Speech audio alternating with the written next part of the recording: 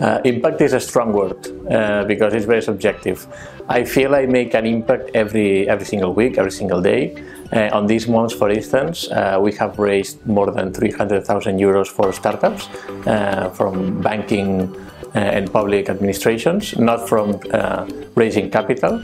So I think that was a quite achievement for my first week here I ended up landing this massive sale and little did I know that it was one of the biggest ones that the company had got that week. So it was a little bit stressful but a good adrenaline rush really. We reoriented the traffic that the paid traffic that uh, was coming through this uh, marketing campaign. Before it was we were converting this traffic through landing pages that the, the conversion rate was around 8% and we decided to change it and re reorient it to the homepage that the homepage of Quipu need as well to get some changes. And today we get like 30 or 14% of conversion.